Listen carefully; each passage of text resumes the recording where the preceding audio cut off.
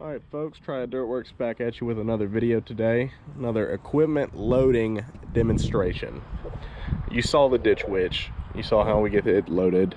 But we're gonna raise the stakes a little bit and show you how we load an excavator.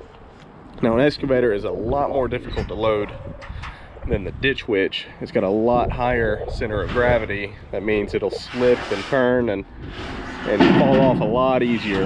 You can see why it's getting these ramps ready put them in the slot. We'll go to the next one.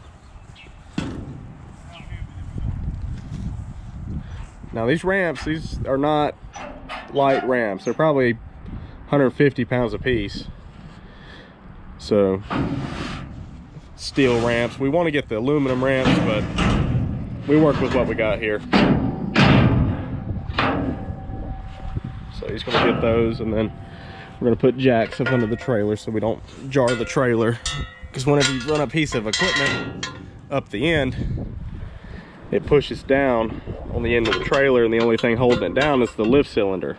We break a seal on that, that's a bad day. So he's gonna put this other one over there so that trailer can't travel as much.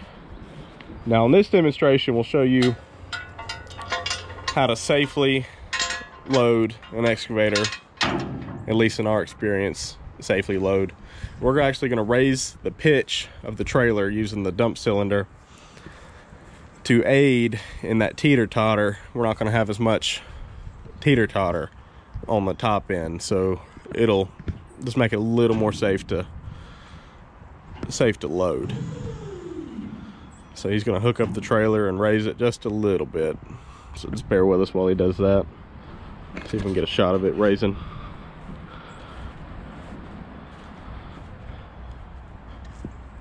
You can accomplish the same thing if you don't have a dump trailer by just using your terrain to your advantage. Like here, we're kind of on a downhill slope here, so it, it kind of does it naturally. So he's gonna raise that trailer up just a little bit, all right? And it makes this approach angle a lot less steep. So you just kind of use everything to your advantage to uh, to help you out and make it make the job safer. So we'll check back in with you whenever we're ready to load. All right, here comes dad on the approach. He's gonna line up with this, with these ramps here. But one other thing I, I didn't mention in the intro, whenever it's raining and this gets slick, like we talked about in the other video, you're gonna want to just be very careful with how you approach it. And sometimes we'll put a chain to the front of here hook it onto the bucket so we can pull ourselves on because you, these tracks will slip on this metal when it's wet. So you'll pull yourself up onto it. See, he's got a little bit of a teeter-totter. Uses that boom to level it out and jump up onto the trailer. But you'll he'll grab onto a chain in the rain that's hooked up up here to there and there and use it as a as a guide to pull himself on. So it's just little tricks like that to keep you safe and keep you just keep you working. But if you get caught in a rainstorm and can't get yourself loaded on a trailer, that's not a good time. You gotta leave your machine or just wait out the rainstorm. So just stay tuned for more tips and tricks from Dirt Gobbler Productions. And we'll catch you on the next one.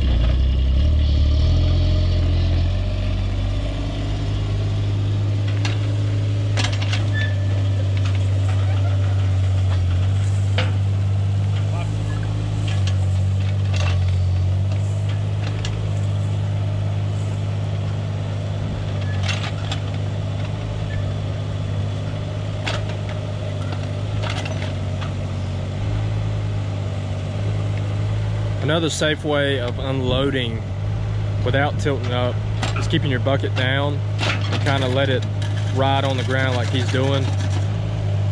And then lower yourself down kind of get you more on that plane and it prevents the teeter totter